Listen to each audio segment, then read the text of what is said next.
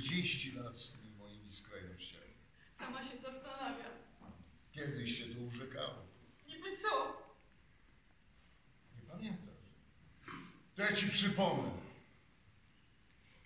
Stałaś pod sceną, kiedy konferencjer zapowiedział, a teraz przed państwem Olgierd Giera ze swoim przebojem Pomaluj moje pragnienia. Tak na mnie patrzyłaś, że w trzeciej zwrotce wyrwało mi się do mikrofonu!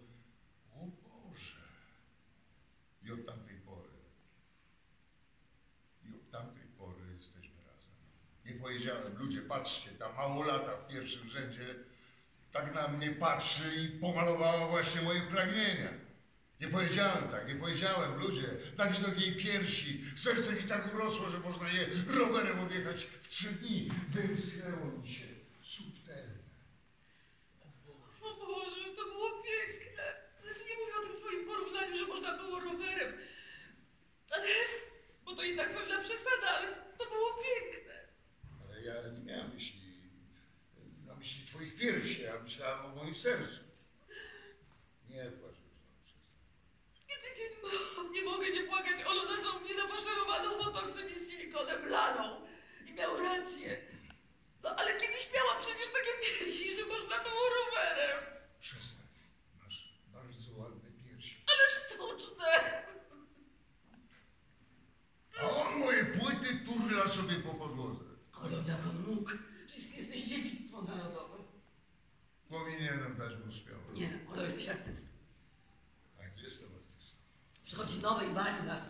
Z piąchą między oczy. Tak, ale nowe, nie wie jeszcze co je czeka. Nuda i frustracja. Chłód i, i głupota. Obwisły cyc. I sflaczały frędzel.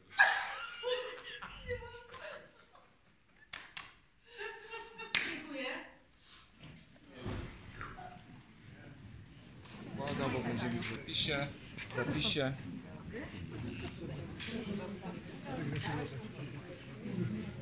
Tak, i to poprawki powstało Pani Kasiu, swoje lewo troszkę, poprosimy. Tak szybko się e,